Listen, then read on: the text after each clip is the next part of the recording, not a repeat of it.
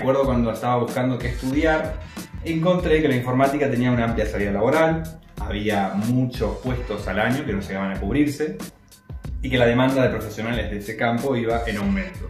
En el camino fui aprendiendo mucho más, encontrando el gusto, digamos, por la, las ciencias de la computación, la informática, la programación y diversas áreas que si se meten, digamos, en esta carrera podrán ir conociendo.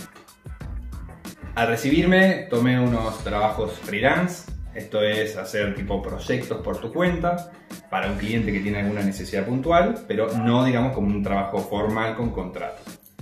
A raíz de eso, otra empresa de la ciudad eh, decidió contratarme para hacer digamos, una aplicación similar. Eh, recientemente cambié a una empresa que también es de software, pero con un equipo más grande. Y también bueno, estoy trabajando digamos, con el desarrollo de aplicaciones mobile y web. Todo lo que tiene referido a la informática, a la computación, es muy amplio. Se pueden dedicar a infinidad de tareas, desde partes, digamos, que no se ven, que están detrás del lado del servidor, como les decimos nosotros, con bases de datos, sistemas operativos, redes, si se quiere, o si no, dedicarse a la parte visual y, digamos, trabajar con lo que son botoncitos, las imágenes, lo que el usuario termina viendo e interactuando cuando hace uso de algún sistema.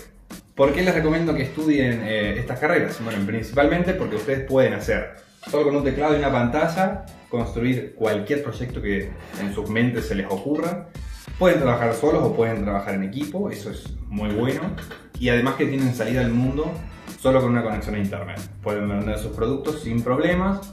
Eh, asimismo, también hay infinidad de búsquedas laborales todo el tiempo. Por lo que, por lo que al principio, digamos, se van a encontrar con que sabiendo lo más básico ya pueden aplicarlo y comenzar a trabajar.